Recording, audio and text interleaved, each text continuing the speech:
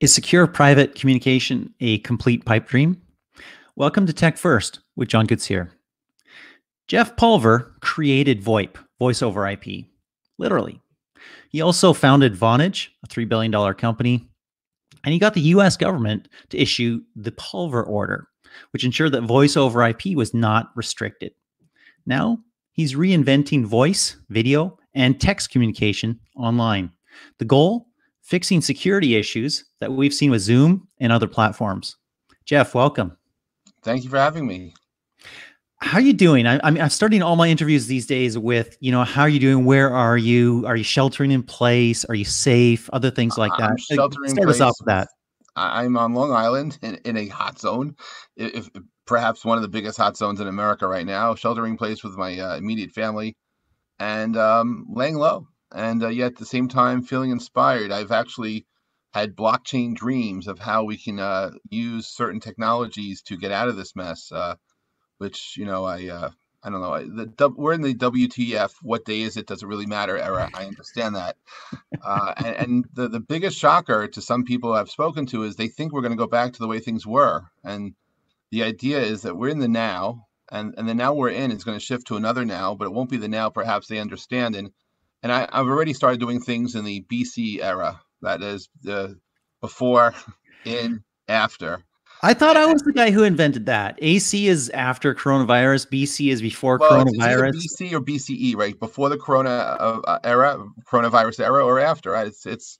But we're not, we're certainly. And when I look at commercials, when I look at um, movies, certainly I, I, see things created a certain way and then i feel like i look at a commercial that's on tv now and it's like wait it doesn't belong. It doesn't feel right to see this. Mm-hmm, and, mm-hmm. and so but i but i've been thinking a lot about how do we get out of this mess? And part of the drop the pause and you figure out how to reinvigorate and restart the economy one of the biggest things we need to figure out from the very beginning is interoperability yeah. Uh, if you remember the 90s with the advent of the internet going from dial up to broadband, there was a time when many of us carried an entire um, bag of tricks so that when we went to one country or another country, we'd be able to yes. connect to the telephone lines. Yes. And then one day Wi Fi happened and we had interoperability and we actually can use Wi Fi as a way to connect. And the way I explain that to other people is your bank card, your ATM card. For people who went to the bank and you traveled from New York to Toronto and you needed cash, you went New York to London and you needed, you know, some pounds, you can go to a foreign bank and dip the, your card in and you, you got the currency. I understand we're moving to a cashless society, but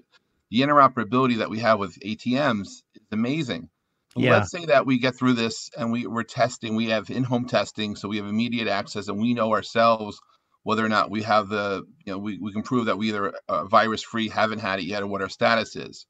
Well, you know, it's interesting you mentioned that because I just posted, you know, I'm working on a book, uh, Insights from the Future, right? Yes. Uh, which is future stuff. And I just posted about a device that I said Apple's going to invent a year from now, which you wear and gets virus updates, much like your antivirus software on your laptop gets virus updates weekly or monthly or something like that. And you just, you know, put a little sample of blood or whatever might be in the case there, and you get a little ding and you're, you're good or you're right. bad. So we, but we know that we're good, right? But we're going to try, I want to travel from New New York to London to attend a conference. Exactly. So, so, so the thing is, my so my municipality, I'll say the county, even New York State will figure out how to go from place to place with the New York State. I know in Governor Cuomo, he'll, he'll work it out with the governors of New, New Jersey and Connecticut because he always seems to. So we'll have some interoperability state to state. But if I want to fly to California, if I want to go to Vancouver, if I want to go to London, then we have to we're talking about on a galactic level global level we need interoperability for the test results yes. Know, i understand that in some uh, at least one asian country and verification that you are uh, right. either immune or you're not carrying the disease well and i understand people in I, I don't know i read too many reports i don't know what's true or not but i understand there are qr codes assigned to people's smartphones yes and, and it scans either green, red, and they check your temperature when you enter a location, and it scans green, and then you scan green, red, or yellow. Green, you're fine to go, for at least stay for two hours. Red means you got to go back. You should not be where you are. And yellow, I've read different stories, but one is yellow is if, if you turn if you turn yellow, it means that you've interacted with somebody who's come down with a virus. That's correct. And, and, so, there's, so, there's there's management of that all on the back end as well, so it knows who you've been in touch with or who you may have right. been in touch but with. But on a hyper local basis within that um, uh, dystopian uh, um, government's uh, control, you're good.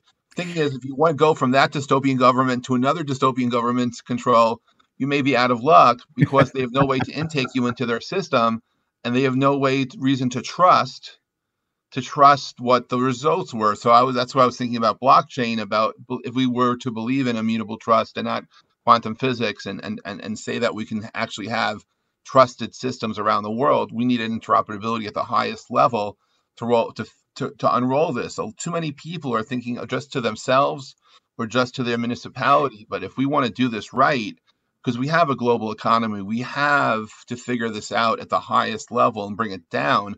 It requires a lot of thinking. well, we need that, that interoperability that you're talking about. We absolutely need that. We also need some level of doing this in a way that protects personal privacy so that you yes, can know that, we're going to meet for coffee, that I'm safe and I know that you're safe but we can exchange that information without releasing too many details to some government or something like Again, that. Again, that's where blockchain could work, where we have immutable trust, where we're sharing very little information actually on the blockchain, but enough information so we know that we both um, that we're both safe to meet with each other. And yes, it's that needs to be solved now. I mean, too many people are are. To, I mean, I, am not a political person, but too many people are looking to start a, an economy. I understand that. If we started too early, if we started too early, we're going to just bring back spikes, which I, am seeing the death tolls every day here in New York, and it's not fun. It's so, not fun at all. It's awful. I mean, and they, they talk about the death in home that was about 25 a day in New York um, in normal times, and is now uh, something uh, is something like a thousand a week or something like that. I don't have the exact stat, but it's well, horrific. 799 people were reported passing away in the last 24 hours in New York, and so wow. Um, it's it's a lot, and it's very heavy. And you're in a situation where you, you can't be communal. People are not able to go to funerals and respect those who passed. It's a really hard time. Or hold the hand of their loved one as their loved one passes away. And say goodbye. And say goodbye. Um, so this is the reality that we're in. Uh, I wanted to respect that by starting there, but it's not exactly why we came together to talk. Um, you're doing something interesting. You cannot not do things in communications. Apparently, well, this, is, this is your world. This is your life. There. You're reinventing communications uh, across the the your entire lifespan as an entrepreneur. Talk about the problem that you're trying to fix. I mean, we've seen Zoom and we've seen lots of security issues with that as that's 10x, 20x over the past few months. Uh, we've seen lots of security issues with other communications protocols. Talk about the problem you're trying to fix. Uh, well, the, the it's really not a problem trying to fix as much as a solution looking to bring to market.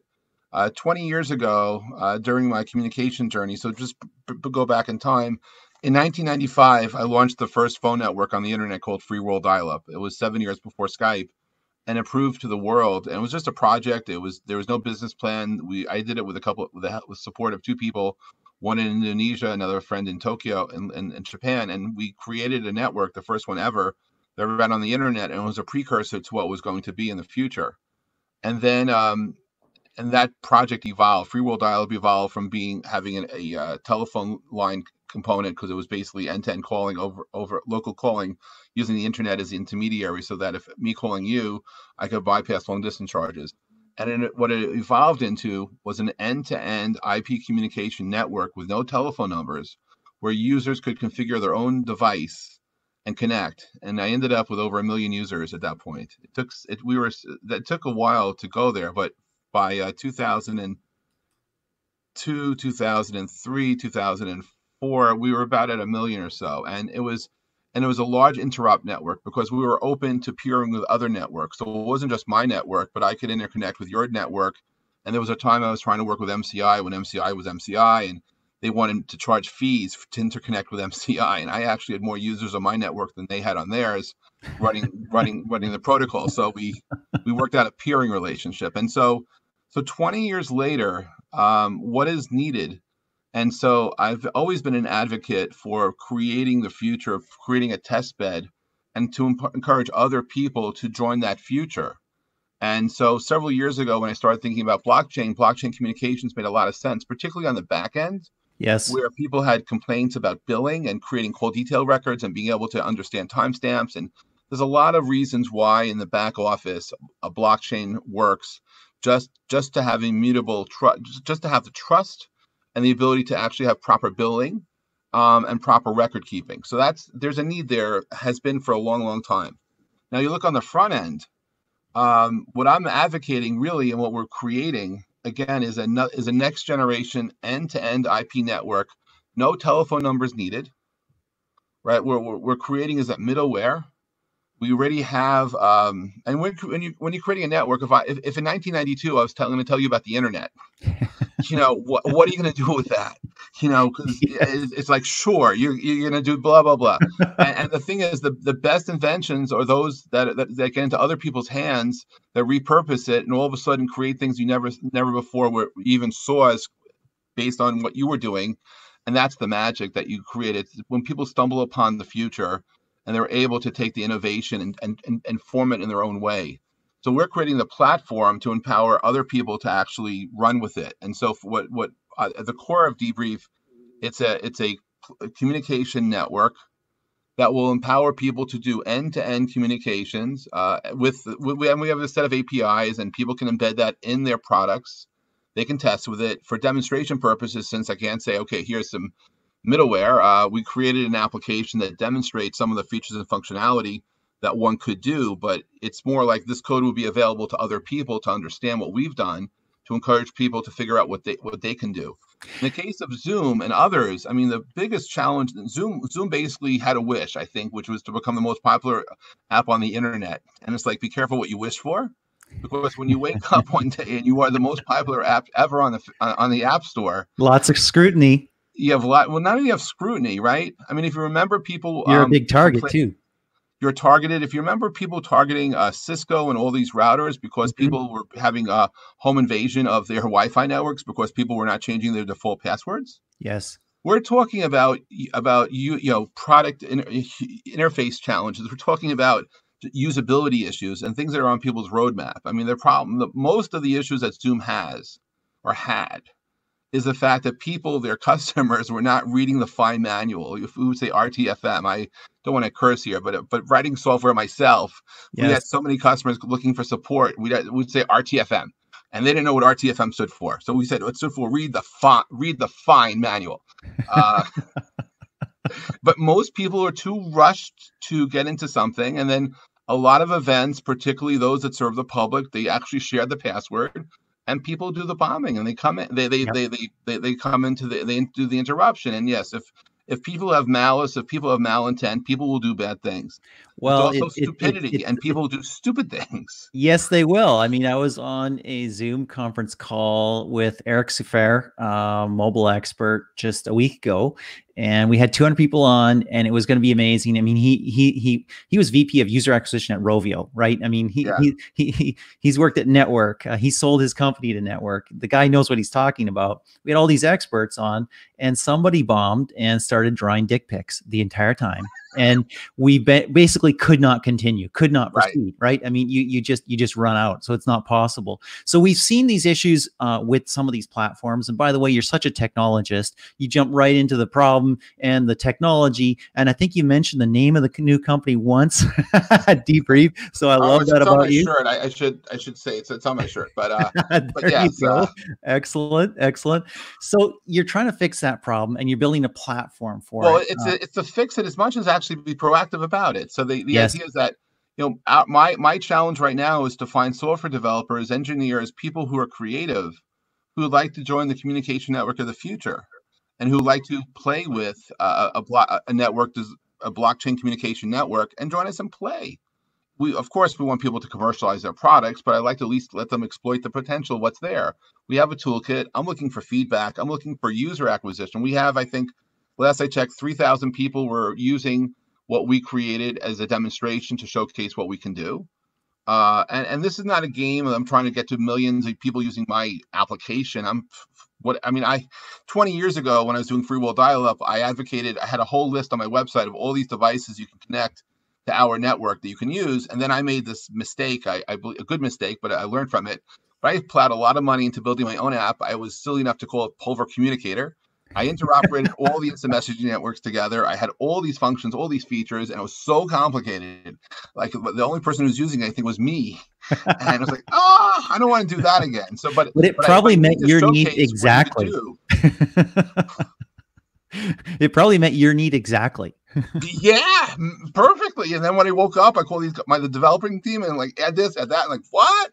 Um, but I, I pull back because I, I don't represent everybody, but I, I do need to be able to demonstrate capabilities. And if you look back to um, having end-to-end IP, which is key. So we're not phone number based, right? We're not. I'm not using the old world thinking. I'm not into the the mindset of telephone numbers as mm-hmm. identification. Mm-hmm. And the thing about having a decentralized communication network is that we don't see the content or context of what's being shared. Yes. So you have privacy because it's a true peer-to-peer communication network. You you will have onboarding. You will have a way of uh, creating a way for people to be identified, uh, as one would in any type of network. But it, but it's most you know it is has it's it was built from the top down, bottom up to be de- as decentralized as possible, so that we don't see the context of what's being shared and you have privacy in those communications. Yeah, you said context, but I think you mean content, correct? Well, both, right? Because if, if, if you had content, I could look and see what you're talking about, and, and all of a sudden show advertisements based on what you're talking about. Yeah. I mean, I find the whole thing creepy that you and I could be talking about um, hats, which is my hat from my podcast. And, and if I talk about hats in about an hour from now, if I look at my smartphone, I'll start seeing commercials for hats because somehow someone is listening and hat commercials start showing up. And it's too coincidental uh, for it not to be that someone is listening and all of a sudden showing me Panama hats. And so mm-hmm. it, it is just um, interesting to me. So so I'm looking to the future and looking at you know what one needs in order to have a a, a vital, viable communication network. Mm-hmm. And and so we're we're, we're looking to be, if you will, the next generation AT and T, the next generation mo- uh, communication network. Yeah. And we're focusing just on IP communications. I'm not saying whether you're mobile, uh, you know, it's really a mindset. And and and and at the early stage that we're at, we've created the platform. We we need we need to find developers so we can get feedback to what we've created to understand. Gee, this is nice, but what about adding this feature? Yeah. Oh, well, have you thought about that? And yeah. and and and yes, we can support uh, open pro. There are protocols we can support on technical level, but right now, from a from a person who's hearing about what we're doing perspective, we have the potential to onboard a lot of people and to create infrastructure that other people will benefit from as we learn and as we develop. We it, it is. I'm not saying we figured everything out. I don't think we ever figure everything out.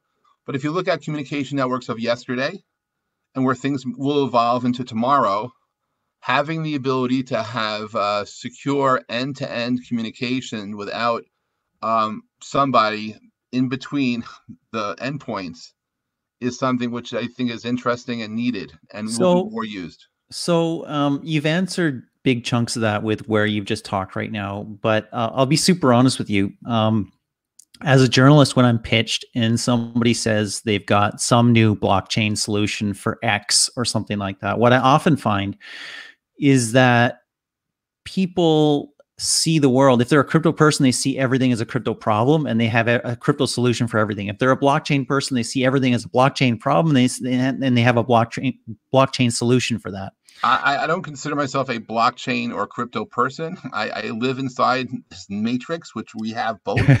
uh, and, and, and in my case, the reason my, my original interest in blockchain communications was on the back office, trying mm-hmm. to solve billing challenges and reconciliations. Mm-hmm. Uh, that mm-hmm. was the first entry of this. And I have a whole bunch of ideas on that. And then when I looked at how we started, how we start a conversation and the, and the steps that one takes, verification of endpoint, understanding who you're talking with, who you're communicating, who you're communicating with, and ha- and understanding that is the person you want to be having the the conversational transaction, whether we're sharing thoughts, ideas, or something else. Yes, that's important. And and you also people want to sometimes have an be anonymous and autonomous, and we have other needs. So how do you onboard people give maintain their privacy and, and the integrity of their data. So, you know, in our case, by not storing what you're sharing, we're able to, um, you know, the only people who have stuff that that was shared is the, the devices. We don't, we as a network don't have it. So, so we're not going to be able to share that with anyone else because we don't see it. The so, the beauty one of the beauties of that, I mean, is that companies are spending a lot of time, social networks are spending a lot of time right now uh, responding to requests for information, right, uh, by three letter agencies. Yes. And uh, if you don't have it, uh, you can't provide it. Uh, there are other challenges that come with that, but what I want to ask you about is you're you're building a platform, um, and apps will run on that platform. In fact, you've said that Zoom itself could run on that platform. It, it could. It, it, we're, we're, you know, what, if Zoom wanted to set up in their test bed uh, an example, a piece, take our code and and and use our code to uh, to a, start up a session, they could. Um, Talk about I, a little I, bit about I, how that process would work. Well, there we'll keep it simple because I can get very technical. I don't. Yes, you can. uh, but if we we if anyone learned how to write code, eventually they they they write a program that says "Hello World." Yes. And you compile it or you you see it. I have written a number of those programs, very sophisticated Hello World programs. Yeah, so we've created uh, a nice demonstration of what one could do today based on on the specifics of our network. If somebody on the Zoom team or somebody on some other team would like to play and and get hold of the toolkit. We are on github they can go on the github they can download the apis and they could play. And they'll let us they'll let us they'll let us, us know whether they can play or not. I mean my assumption is that we're open enough for them to wrap what we have inside what they're using and get value from what we've created. But they need to tell us. I, i've not seen their source code. I don't know what they've done. I don't know what, what architectures they have. I i'm you know it's an assumptive guess that we could be of value to everyone at mm-hmm. some level we could be. Yeah. uh, if, if, zoom's interested in what we're doing we can certainly have a business conversation with them. But the the, the the idea though is the architecture there's they, they, they were created with telephone numbers in mind. Even if you don't use telephone numbers to come into a video zoom a lot of people are identified based on their self telephone number. So that my belief is at least at the beginning they were they, they were central office focused. They were mm-hmm. centralized focused. Mm-hmm. They, they had a, an architecture that's centralized, not decentralized. Mm-hmm. And that's a mm-hmm. mindset. We used to call that the bell heads versus the net heads. Uh, look, the most the most popular decentralized application on the internet today is DNS. The fact mm-hmm. that domain name services can be all over the world, and and when one goes down, the other one, all the others stay up. It's just magical. So mm-hmm. having decentralized communications in uncertain times is something which we all need, I believe and I think that we all want to have a backup way to communicate. Uh, you know, I, voice. I, I it's uh, yes, I, I, know in the COVID nineteen days it doesn't sound good, but voice is a killer app. No, it's not going to kill you, but in times of uncertainty, in times of need, in times of greatness, we want to share and talk and communicate with somebody, with a loved one, and the emotion that's built into that voice um, is, is, is is is is priceless. So let's so. let's talk a little bit about scalability. Um, the um, uh, we've seen huge challenges with scalability across the globe in the Completely. last month or so, right? Uh, Zoom itself, which we've been talking about on and off, uh, went went 20x more. I mean, it, amazing growth. Microsoft Teams, uh, huge growth, right? Uh, pretty much every cloud-based application communication app is growing right now. Uh, so blockchain is not super well known for scalability. There's been a lot of advances in the past year on that. Talk to us a little bit about scalability and the platform that you're building. Well, I, I am I'm not writing any of the code, so I'm dealing with the developers that are creating this. Uh, right now, we I've not seen any challenges about being able to handle the transactions that we have based on the users that users that we have. Uh, can we? And we're not, you know, this is its own dedicated blockchain. We're not dealing with any um, public blockchains. This is just within our network and we're using the, the, the fuel, the technology that blockchain represents, the actual essence of it, to do what we believe it's designed for. I mean, at the at the at a high level, blockchain is a database. Yes, and, and so we're using it very simply, uh, without the overhead that you know that that other public blockchains have. If what we have isn't good enough because we we have too many users, I imagine they will re-architect it in a way that's more scalable maybe by geography, maybe by user types. I don't know, but it, mm-hmm. it's not something mm-hmm. which I, I, am not saying that we're we're flying airplanes at a with a with a you know billion transactions per second. We have a speed of light issue there. Yes, this is not about a high speed network. This is about creating a communication network so that it's optimized for the environment that it's operating in and focus specifically on it, which happens to be slow. We don't need speed. I mean, of course, you want speed, uh, but we have Moore's law in our favor in the sense that you know the, comp- the compute time continues still to get faster. It still evolves, and I'm not a that has not to date speed has not been an issue with our ability to build and create and to talk to people interested in working with us. Mm-hmm, uh, mm-hmm. It's it's not on the table as one of the. No one has identified that as a challenge, other than I would bring it up and say, "Gee, are we fast enough?" And then I can realize, wait, we don't have too many computes to do here, uh, so we're good enough for now. And and when we grow, uh, we'll deal with it. I had similar stuff uh, with FWD. We ended up having to do load balancing. We ended up having to have to, to decentralize but centralize how we were handling it, and and, and we uh, more than once we rebuilt everything from the ground up. uh, you know, it's it's just crazy. But you know, when you're when you're flying like that, when you're, if you're zooming, right, and all of a sudden you wake up and you become the most popular app on creation because you happen to have the platform of the day that's interoperable, works across multiple operating systems, multiple devices, and people go to it for video. Um, first of all, most of those people are probably not paying for that service.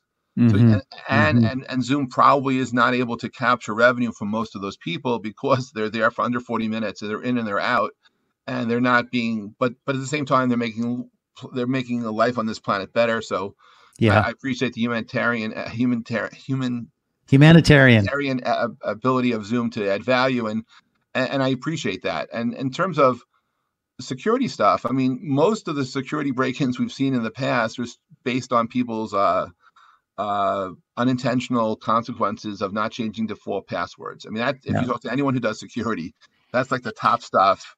Is don't don't leave the word, don't leave the sample passwords in there. don't do that.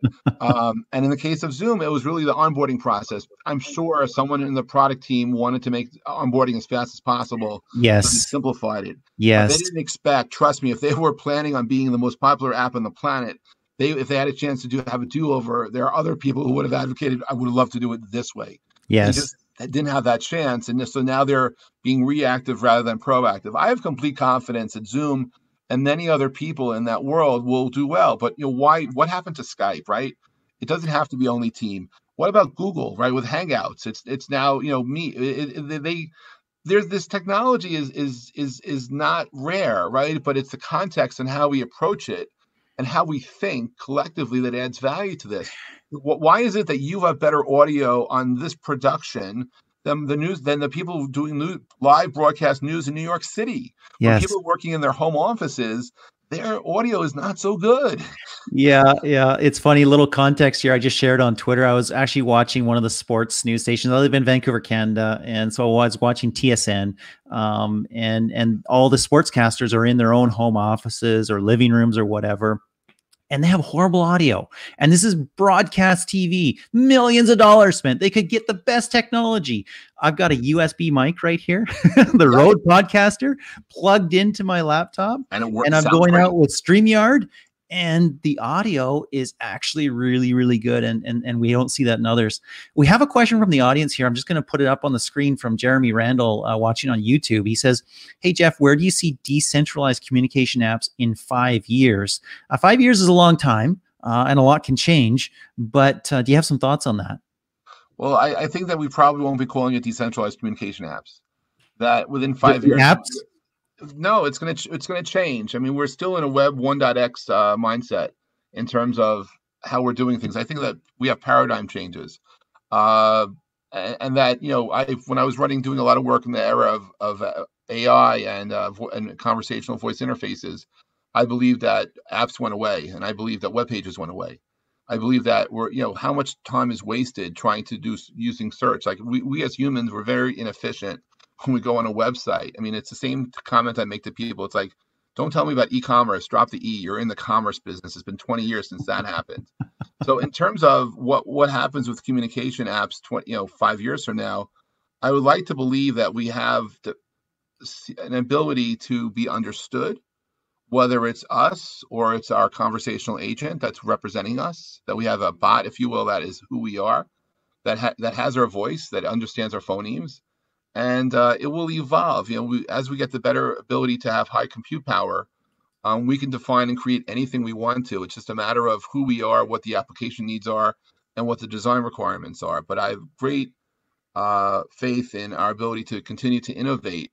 But at the end of the day, being able to see somebody, being able to pick up and talk to somebody, that is still priceless. I think five years from now, voice will remain the uh, killer, quote unquote, killer app, but the the number one way of communicating. And, and it's no surprise to me that under the in the days of of of, of COVID uh, nineteen, that the telephone has once again become a popular way for people to communicate. You know, uh, one thing I'll add to that, um, and I think video is a big piece that that that we can add to that, and I know you've done that and and and, and believe that as well. Um, I was talking, I was being interviewed by somebody the other day. I, I had to answer the questions in that case, not just ask them. So I had the harder job, which you have today. But um, and, and we were talking about what's changed, what technology has changed with coronavirus, with COVID 19.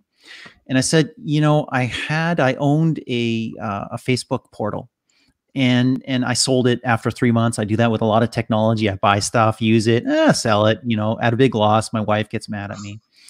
Um, but what I wish I had right now, and what I liked about the Facebook portal was sort of ambient presence, yes. where I could kind of uh, call my mom, and it wasn't like calling her. It wasn't an event. It wasn't a hold a device in my hand type of scenario. The right? device is there. You're connecting. Just, you're connecting it just was the there, and yeah. so we could just do that. And I want something like that. I want a a big screen on the wall in my dining room that I don't watch TV on, but I just call my mom and say, "Hey, we're having dinner. You want to have dinner with us?" And we have dinner like we're in the same place almost, but you know, you just have a conversation.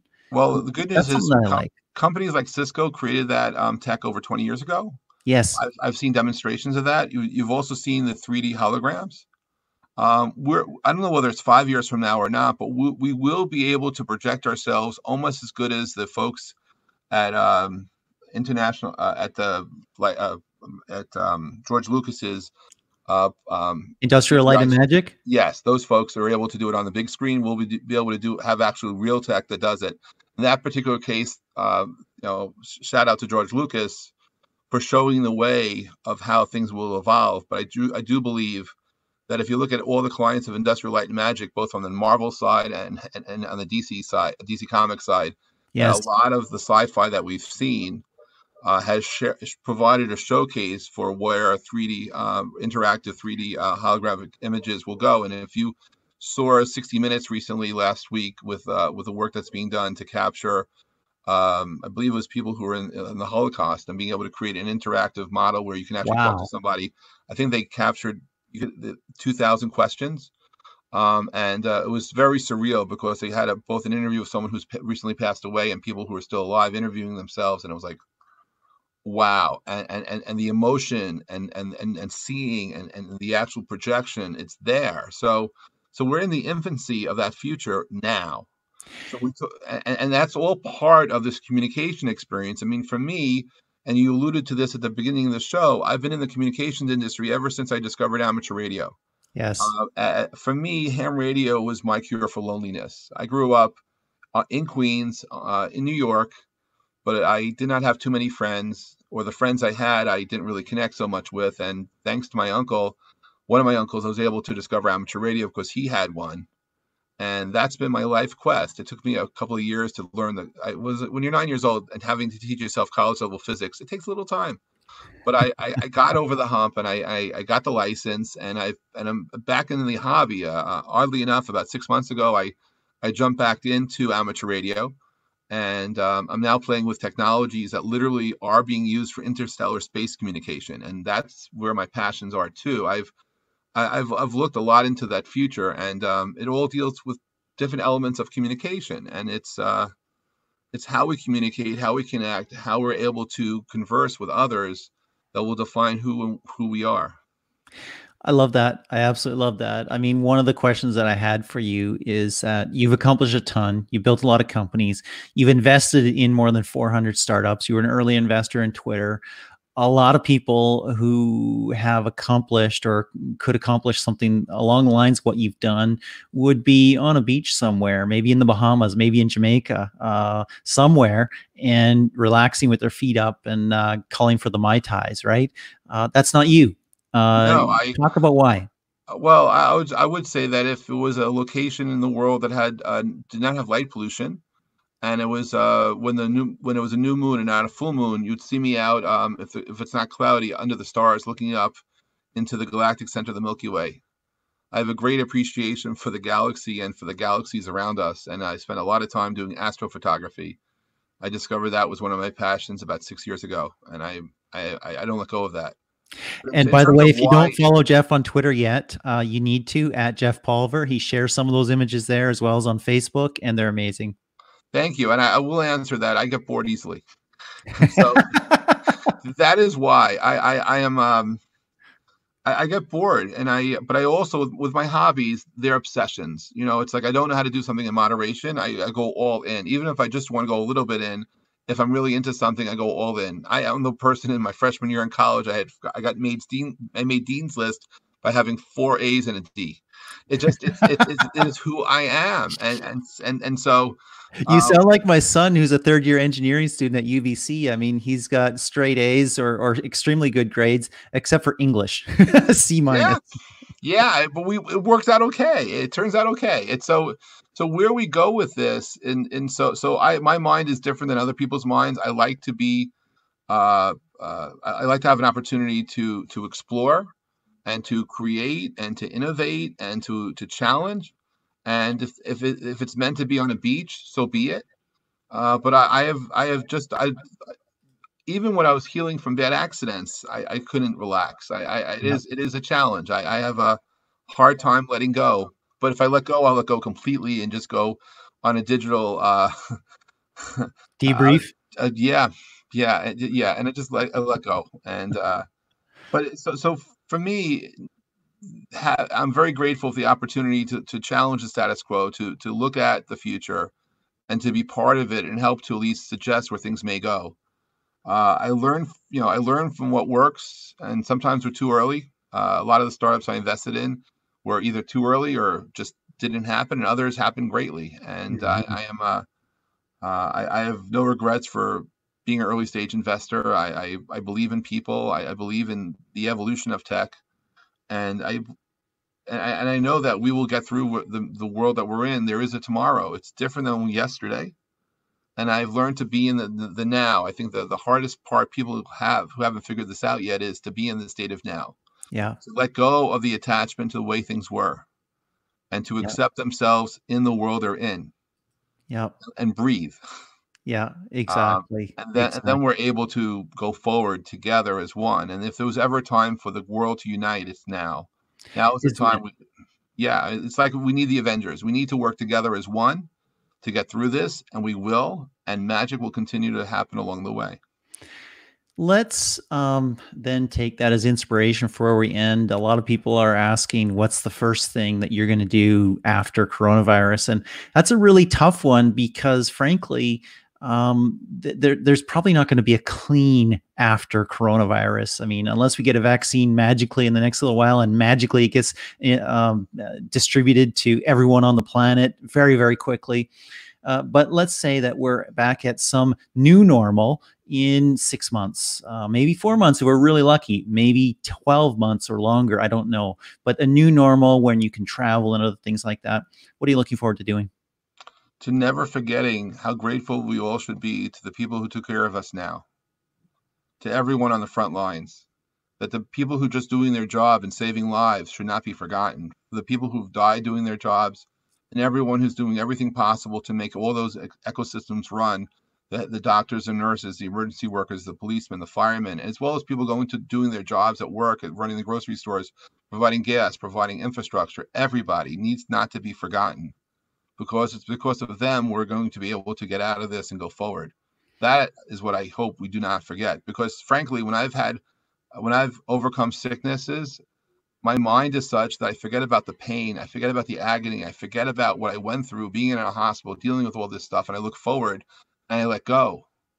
And I'm able to do that. And when we don't feel well for some reason, I think we're able to let go of how we felt, and we're in that we're feeling good now. I don't ever want to forget the people who putting themselves on the front line. I used to work at the World Trade Center. I'm very grateful that I wasn't that I didn't die in 9/11 because I had the kind of job that if I wasn't fired from it, I would have very well could have perished.